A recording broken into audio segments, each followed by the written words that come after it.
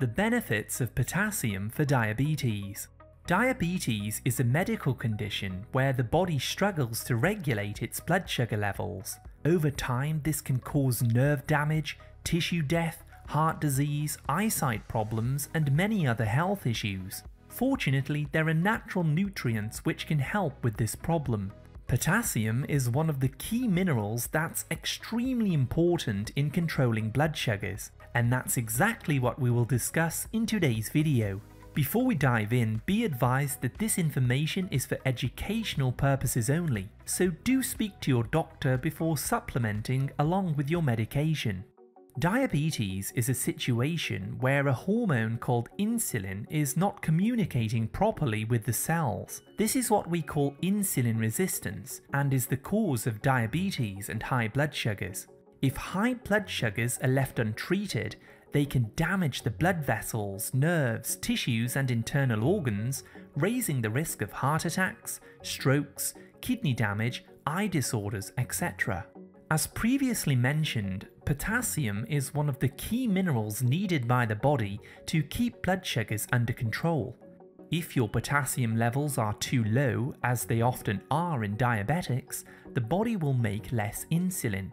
This means that glucose or sugar starts to build up in the blood and causes oxidation and damage to your cells. In fact, studies show that people with low potassium levels are far more likely to get type 2 diabetes than those with normal potassium levels. So the best way to get your potassium is by eating leafy green vegetables, avocados, beet tops and wild salmon.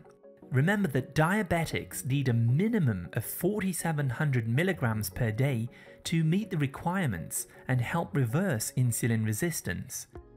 To help boost your intake, you may also take 1000 milligrams of potassium citrate powder mixed in a glass of water on a daily basis. In addition, potassium helps to reduce swelling in the body by promoting normal fluid balance it works as a counterbalance to salt or sodium to prevent edema and swollen feet in particular.